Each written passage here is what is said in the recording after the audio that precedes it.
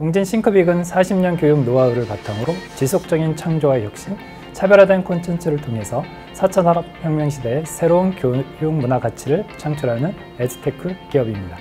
최근에는 베컴, 딸기콩, Udemy, 놀이의 발견 등 유아동에서 성인까지 교육에서 문화까지를 아우르는 플랫폼 사업으로 미래의 성장 동력을 확보하고 있습니다.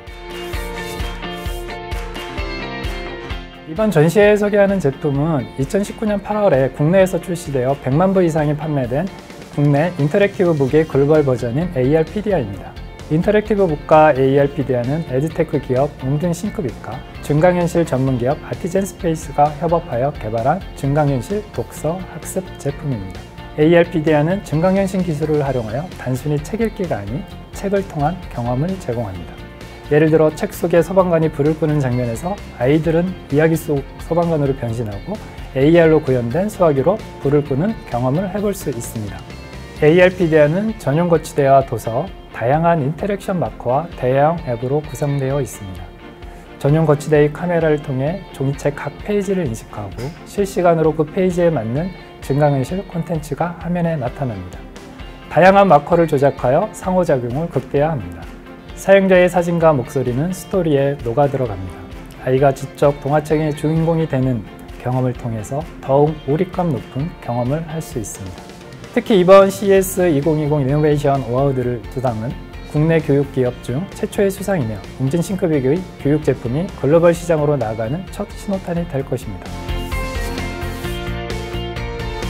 이번 CES 2022를 통해서 한국의 교육 콘텐츠를 세계 시장의 히트 제품으로 만들려고 합니다. CES에 이어 BETT, 런던 교육 박람회, 독일 뉘른베르크 박람회, 뉴욕 완구 박람회, ISTE 등 국제 박람회에서 연이어 부스를 열 계획입니다. 현재 개발된 ARpedia 제품들은 독서 중심의 콘텐츠를 기반으로 출시되었습니다. 2022년에는 영어, 과학, 수학 등 학습 영역으로 확대할 예정입니다.